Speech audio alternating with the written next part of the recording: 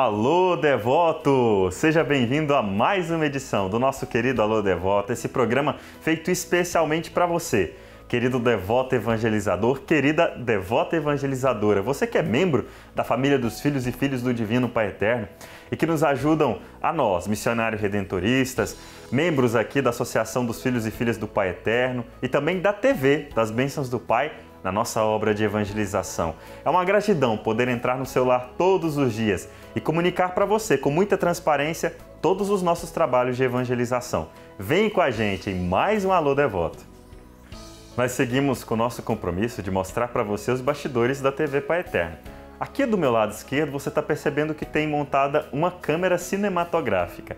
Essa mesma câmera que os nossos colaboradores aqui da parte de vídeo, principalmente os nossos cinegrafistas, transmitem até você com um olhar clínico e muitas vezes perfeccionista a qualidade que está envolvida nos nossos programas, nas nossas entrevistas, em todos os materiais audiovisuais que a TV Pai Eterno produz. Para nós é uma alegria tê-los conosco e mostrar o trabalho desses homens que, colaborando conosco, nos ajudam a levar até você o amor, as bênçãos, o Evangelho de Jesus Cristo e o amor do Divino Pai Eterno. Já já nós vamos falar com um dos nossos cinegrafistas e contar um pouquinho da rotina de trabalho deles. Por isso, se você tem curiosidade de saber e aprender um pouquinho mais sobre essa arte específica que é levar e transmitir uma mensagem de fé através de uma câmera, confira já já a entrevista que nós faremos com o Saulo, que é um dos nossos cinegrafistas. E se você, devoto evangelizador, ainda não faz parte da família dos devotos evangelizadores do Divino Pai Eterno, ligue para gente. O nosso número 62 3506 9800. E hoje aqui no Alô Devoto, de maneira especial, é dia de nós recebermos quem ajuda a fazer com que tudo aquilo que a gente grava e produz aqui na TV chegue até a sua casa. Nós falamos hoje com o Saulo, ele que é cinegrafista aqui da TV Pai Eterno. Saulo, muito obrigado por nos receber aqui hoje no Alô Devoto e contar para o nosso devoto evangelizador que sempre nos acompanha um pouquinho do seu trabalho. Olha, é... eu que agradeço por ter recebido esse convite e fico muito gratificante para mim, porque só com um ano e pouquinho de, de TV Pai Eterno eu fui um dos escolhidos, né? Então é sinal que o pessoal me abraça como profissional e eu também abraço eles como, é, como chefe, como é, uma instituição é, de respeito. Com certeza, seu Saulo. Para nós também é um prazer falar com quem nos ajuda a fazer com que todas essas imagens cheguem até as pessoas que nos assistem de casa.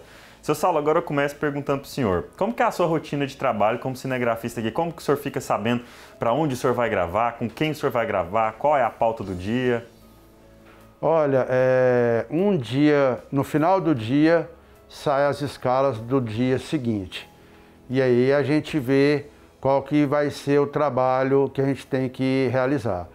E eh, se for jornalístico, sai é, a, o nome do repórter, sai o horário, e aí a gente chega para cumprir é, o horário, a, a, o repórter passa as pautas, e aí você organiza o equipamento e o carro, se for externa, e aí a gente executa com a equipe do repórter, do auxiliar, a gente sai para fazer essas captações, essa matéria.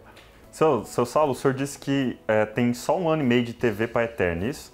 Antes daqui, o senhor já trabalhava em uma TV religiosa ou era uma, era uma TV comum?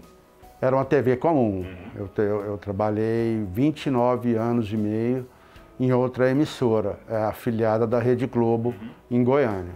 E, e há diferença no trabalho é, em emissoras civis comuns para uma emissora de TV religiosa? Sim, há uma diferença é, gigantesca em termos de é, tratamento. Eles, eles respeitam mais você, reconhecem mais o seu trabalho e te abraça de uma maneira que é muito satisfatória. É uma honra para mim ter entrado aqui e na época de pandemia eu fui demitido e consegui entrar aqui e estou muito satisfeito, estou muito orgulhoso de estar aqui. Que bom, é muito bacana o senhor dar esse testemunho para quem nos assiste lá do outro lado, né? É, como eu disse no início, vocês nos ajudam a enxergar aquilo que é, é, produzido pela TV. Sem o cinegrafista, as imagens não chegam com qualidade, não chegam com aquele enquadramento perfeito para o nosso devoto evangelizador. É, e seu Saulo, outra coisa que eu gostaria de perguntar também. É, o que, que é o costume do senhor gravar? Que o senhor grava com repórteres para o jornal, é, entrevistas, produz, ajuda a produzir conteúdo para os portais. Qual que é o foco do senhor aqui como cinegrafista? Porque a gente sabe que há as divisões, né? Aqueles que gravam uma cena, cenas internas, externas, para programas específicos. E o senhor, qual que é a, linha de trabalho do senhor aqui?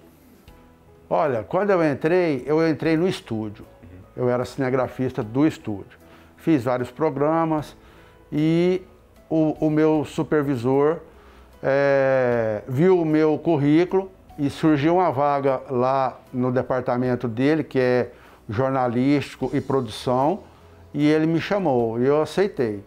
E aí é, é, a gente produzia as receitas, a culinária do Padre Donizete, e aí, logo em seguida, é, eu fui fazer as matérias jornalísticas. Mas, é, quando tem alguma coisa, a gente faz é, sempre o que é designado. Então, se, se, é jornalisticamente, a gente vai, se é produção de culinária, a gente vai, os programas, as transmissões das missas, tudo a gente vai. O cinegrafista está pronto para gravar qualquer tipo de material. É, é, existe uma área específica que o cara gosta mais, que o profissional gosta mais, né? Mas assim, a gente, como eu tenho muitos anos de TV, eu sei fazer, sei atuar em todas essas áreas. É, são praticamente 30 anos de profissão, né? É Sim. É muita coisa. Sim. E a gente percebe que tudo que vocês fazem aqui é sempre feito com muito perfeccionismo e qualidade. E isso a gente vê quando a gente assiste a TV Pai Eterno. É, a pessoa, o cinegrafista, ele tem que ter um olho e gostar do que ele faz. Uhum. Tem que é, ter é, é, esse prazer, a satisfação de quando você vê um material seu exibido uhum. e o telespectador gosta, essa é a nossa satisfação. Não, e para gente que, que apresenta um programa, outro, por exemplo, Alô Devoto, que a gente sempre recebe algumas é, cartas, algumas, algumas parabenizações dos nossos devotos, a gente percebe isso, eles gostam muito da qualidade do material que é produzido pela TV. Por isso, parabéns para o senhor, Zosalo, para todos os cinegrafistas aqui da TV, que nos ajudam com esse olhar clínico aí e muito perfeccionista a levar o amor do Divino Pai Eterno através da, da, da, da televisão, através dos nossos materiais que são enviados através de vídeos para o YouTube nosso devoto evangelizador.